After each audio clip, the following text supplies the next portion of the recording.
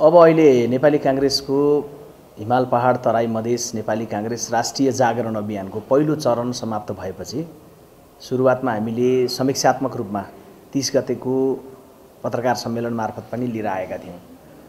अहिले चाहिँ नेपाली कङ्ग्रेस पार्टीको सतहत्तर जिल्लामा जानुभएका प्रतिनिधिहरूले विगतको परम्पराभन्दा भिन्न ढङ्गले प्रतिवेदनलाई लिने क्रम भइरहेछ।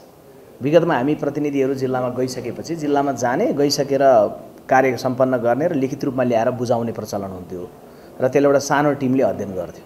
अहिले चाहिँ उहाँहरूले लाई साथीहरूले जे सुनाउनु भयो उहाँहरूले त्यो कुरा हाकाहाकी पार्टी नेतृत्वलाई सुनाउँदै हुनुहुन्छ चाहिँ यो आफैमा पहिलो भिन्न भएको छ। दोस्रो कुरो चाहिँ तिनवटा कुरा चाहिँ साथीहरू मार्फत चाहिँ अहिले आइरहेको छ। पहिलो साथीहरूले जिल्लामा जाँदै गर्दाखेरि जे देख्नुभयो जे गर्नुभयो पहिला त्यो बताउँदै हुनुहुन्छ। दोस्रो चाहिँ जिल्लामा रहेका साथीहरूका भावना के छन्?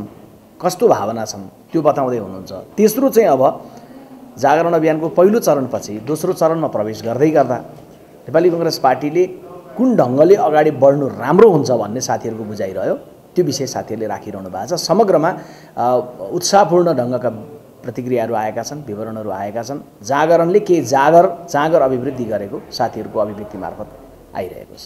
र नेपाली काङ्ग्रेसको विधानले व्यवस्था गरे बमोजिमका जे जति संरचनाहरू छन् ती सबै संरचनालाई पूर्णता गरेर दोस्रो चरणमा प्रवेश गऱ्यौँ भने त्यसले थप हामीलाई जाँगर अभिवृद्धि गर्छ।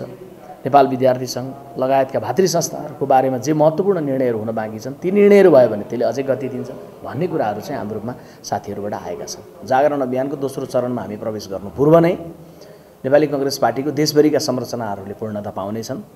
नेपाल विद्यार्थी सङ्घको समिति बन्नेछ तरुण समिति विस्तार हुनेछ अरू केही भातृ संस्थाहरूको बारेमा आवश्यक निर्णय पार्टीले गर्नेछ। भातृ संस्थाहरू मार्फत कुनै पार्टी मार्फत।